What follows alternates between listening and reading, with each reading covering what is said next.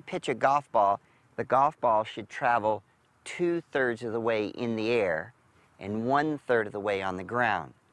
So what I did for this length of a pitch shot is I put the towel at two-thirds of the way. So I have a more specific spot that I want the golf ball to land on.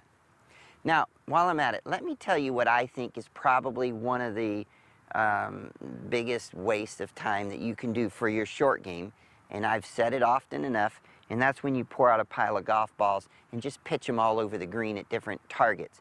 Instead of doing that, leave one target in, but put the towel or a head cover or whatever else, something that would mark a spot two-thirds of the way. And then, when you pitch, watch how this will give you a clear idea of where the golf ball lands.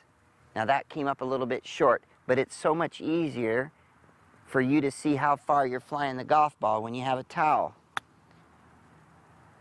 Okay, right on my mark. So if you stand here with a pile of golf balls, make it useful. Put something out there that you can hit at so you can judge and see how you're doing with your different distances.